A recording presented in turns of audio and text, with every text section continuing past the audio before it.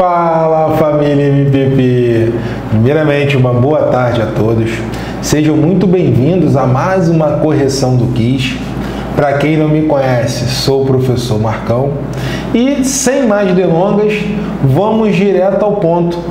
Caneta e papel na mão, olha aí na telinha. Correção do Kiss, equivalência lógica PCDF. Repete aí na sua casa. Para cima deles e não deixe o inimigo agir. Tá aqui, ó. Juntos conseguiremos, juntos somos mais fortes. Resumindo a parada, somos todos MPP. Então, pessoal, é isso aí. Vamos direto ao ponto. Vamos a mais uma correção do quiz e no final a gente troca uma ideia. Para quem não conhece, né, o quiz, né, o marinheiro de primeira viagem, é o cara que está aqui pela primeira vez, o quiz é uma publicação né, de uma questão de uma determinada banca que colocamos todas as segundas e quartas nas nossas redes sociais. E na terça e na quinta nós corrigimos aqui no nosso canal no YouTube. Então é uma questãozinha para você tentar resolver a ideia que você sempre tente, né? E depois acompanha a correção aqui no nosso canal. Zero trauma? Então vamos lá, direto ao ponto, tá aqui a questão. Simbora. Vamos lá, pessoal. A partir dessa situação hipotética e considerando que a proposição P se o comprador não escritura o imóvel, então ele não o registra, seja verdadeira, julgue o item seguinte. Vamos lá. A proposição P, olha a palavrinha mágica aqui, ó, é logicamente equivalente à proposição o comprador escritura o imóvel ou não o registra. Pessoal, falou em equivalência do sem então, falou na equivalência da condicional, já tem que estar tá na cabeça as duas regrinhas, não é isso? Equivalência do sem então, temos duas, né? São duas regrinhas. Temos a equivalência 1, temos a equivalência 1. Qual é a regrinha da equivalência 1? A contrapositiva. Mantém o sem então na frase, nega tudo e depois inverte. Essa seria a primeira regrinha de equivalência. Então, equivalência do sem então, temos duas. Então, são duas regrinhas. Equivalência 1, um, mantém o sem então na frase, nega tudo e depois, ó, inverte. Legal. Equivalência 2. Ó, a segunda regrinha. Se não for a primeira, com certeza é a segunda. É a regrinha do Neymar né, é a regrinha do Neymar. É quando o então se transforma no ou. É quando o então se transforma no ou. Né? Aí tem até a brincadeirinha. Troca o sem então pelo ou e coloca o Neymar para jogar. Como seria a regrinha? Tá aqui, ó. Nega a primeira ou mantém a segunda. É a regrinha do Neymar. Nega a primeira ou mantém a segunda. Então, vamos lá. Olhando aí a equivalência, ó, a proposição P é logicamente equivalente à proposição o comprador, escritura o imóvel ou não o registra. Olhando né, essa equivalência, a banca, a banca tentou aplicar a primeira ou a banca tentou aplicar a segunda. Porque a gente vai verificar isso daí. Isso pode estar certo ou errado. Mas, num primeiro momento, é a tentativa. A banca está pedindo para você seguir qual caminho?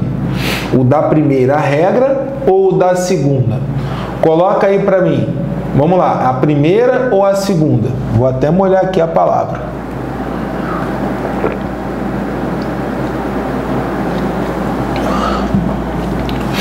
Pô, Marcão, com certeza a banca está pedindo para a gente usar a segunda, que é a regrinha do Neymar. Por que Marcão a segunda? Porque a banca usou o simples assim. Né? Se a banca colocou o ou na equivalência, é porque ela tentou usar a segunda. Agora a gente tem que verificar se ela aplicou a regra da forma correta ou se ela aplicou a regrinha de uma forma equivocada. Então vamos lá, a nossa referência é essa daqui, ó. É essa frasezinha aqui, ó. Se o comprador não escritura o imóvel, então ele não o registra. Vamos lá, vamos aplicar aqui a segunda regra de equivalência, que é a regrinha do Neymar. Então, primeiro passo, troca o se então pelo o. Então, o primeiro passo é trocar o se então pelo o. E depois você vai botar o Neymar para jogar. O que seria colocar o Neymar para jogar? Você vai negar a primeira parte, você vai negar a primeira parte e depois você mantém a segunda. Simples assim. Aí vamos lá, negando a primeira parte, está aqui, ó, o comprador não escritura o imóvel. Negar é inverter. Né? Ficaria como? Né? Negando. Ficaria o comprador escritura o imóvel. Agora, mantém a segunda parte. Ele não o registra. Legal. Então, pessoal, a equivalência ela já está aqui, ó. Como ficaria a equivalência da proposição P? Vamos ler agora a frase como um todo. Vamos lá. O comprador escritura o imóvel ou ele não o registra. Agora eu vou verificar se o SESP fez exatamente isso, para poder verificar se o item está certo ou errado. Tem que olhar o que o SESP colocou. Vamos ver se está igualzinho? Ó, o comprador escritura imóvel ou não o registra. Certinho. Certinho. Então, pessoal, a informação ela está correta. Se a informação está correta, significa na nossa prova que o item está o quê? Certo. Então, no CESP é assim, essas questões do estilo certo e errado. Você sempre vai tirar a prova real do que a banca está falando. Porque pode estar certo ou errado. Então, você tem que sempre conferir para né, responder o item de forma correta. Zero trauma? Matamos aqui o nosso quiz. Agora vamos trocar uma ideia rapidamente. Vamos lá, pessoal. Primeiro eu vou te fazer um convite. Você sofre com matemática e raciocínio lógico? Seus problemas acabaram.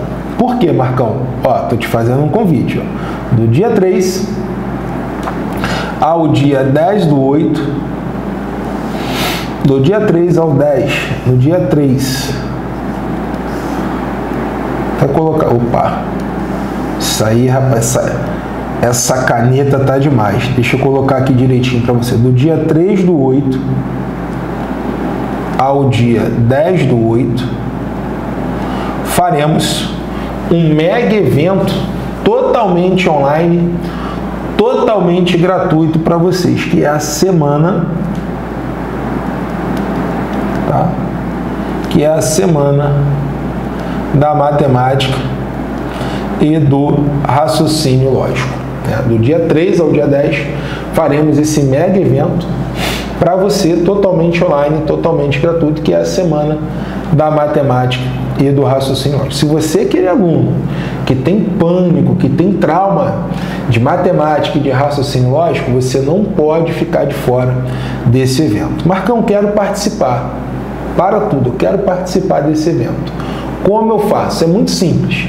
Basta você clicar no link que o Júnior vai colocar aí e fazer um pequeno cadastro, que seria você colocar o seu nome e o seu e-mail, simples assim, e confirmar. Legal? Nome, e-mail e confirma. Porque esse evento ele será fechado. e só vai participar quem estiver cadastrado nesse link. No dia 3, que é o dia do evento, né, onde começamos o evento, vamos enviar para você, pelo seu e-mail, o link da aula.